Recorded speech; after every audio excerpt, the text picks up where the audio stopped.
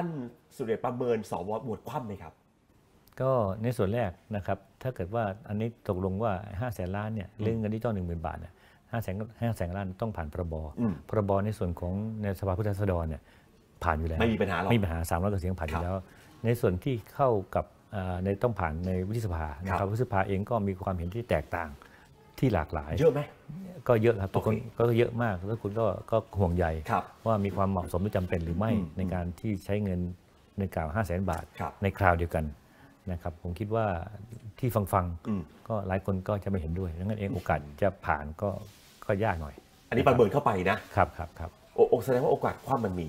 ก็ไม่ใช่ไม่เชิงความแล้วก็คือไม่เห็นชอบ